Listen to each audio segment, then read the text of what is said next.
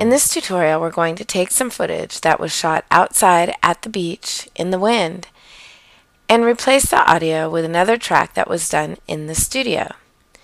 We will use Twixtor to lip sync via time remapping the footage so that will match the new audio track. Please note that in this tutorial we are talking about lip sync, but this method can be used to sync video to any alternate track whether it be music or some other audio that you want to match specific video frames with cues in the audio track. Let's take a look at the original shot. This is Christopher Hawley from the Christopher Hawley Rollers. I shot him playing one of my favorite songs that he does called Dance All Day at the beach. Unfortunately, it was a windy day. You can hear the wind blowing over his singing. This is a problem that occurs regularly when you're doing an outdoor shoot. So let's see how Twixtor can fix it. Now let's go to our Final Cut Pro project and listen to the new audio track we will use. You might notice that this is an electric guitar and there are also some drums. This will just add to the character of our final. We're also going to do some speed ramping for an artistic effect. We'll turn to Twixtor and animate the frame number in the output control to sync the video to the new audio track. We can go back to traditional animation lip sync techniques to accomplish this task. Let's take a look at basic lip sync. This involves correctly timing the mouth open and the mouth closed positions. Think of your old favorite cartoons. Take a quick look at the basic mouth shapes we will look for on Christopher.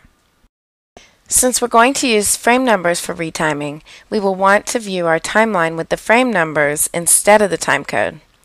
You can watch the Twixtor Speed Ramp and Fit to Fill in Final Cut Pro 10 tutorial for a detailed description on how to change the timeline mode, or you can always look at the Final Cut Pro 10 documentation. Okay, now let's get back to business.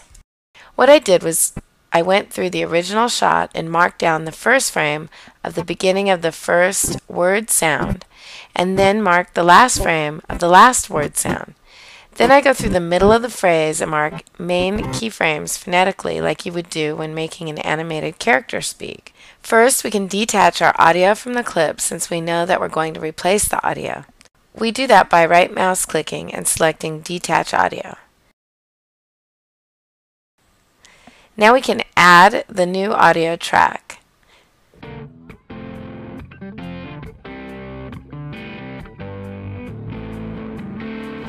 And we can make this new clip a compound clip.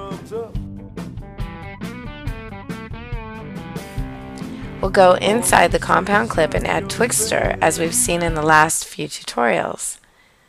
You should at least watch the overview tutorial first so you know the basic concepts we can go to the inspector and put the display on source. We can change the time remap mode to frame number.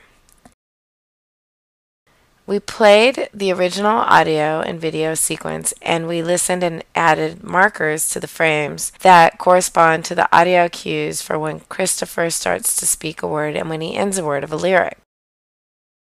Now when we look at the new studio audio file, I listen to this and add markers to the corresponding frame numbers for the same start or end of word. Let's go to some of these keyframes. We will start by putting the playhead at 0 and in the dialog box setting a keyframe of 0 to map the first frame of the source to the first frame of the output. Now let's go to the first sound of the dialogue. He starts by singing When the Morning Sun Comes Up. So I had marked the w sound on the source and the same on the audio.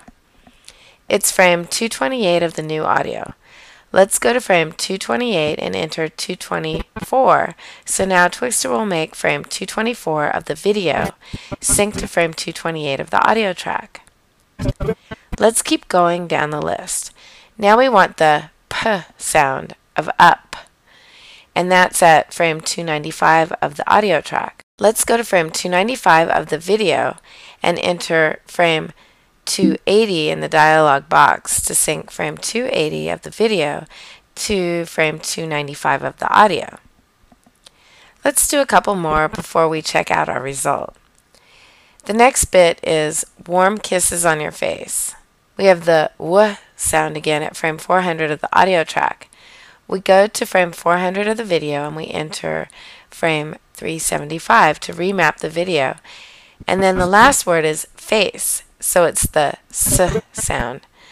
The audio track keyframe is frame 480 and we will go to frame 480 and set frame 458 of the video to that. Let's go ahead and check out our results so far. We'll put the display on Twixtor to output and it will render the video and the audio.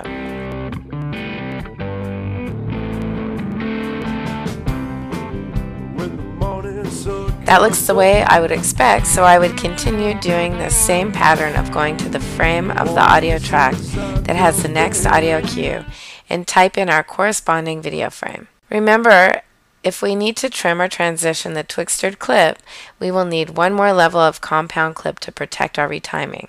Now I can just grab the edge and drag it to where I want it. Let's look at the result.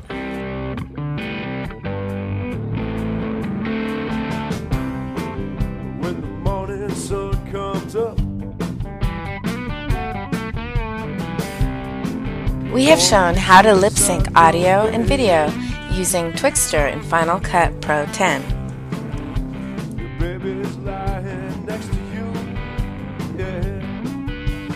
Don't you let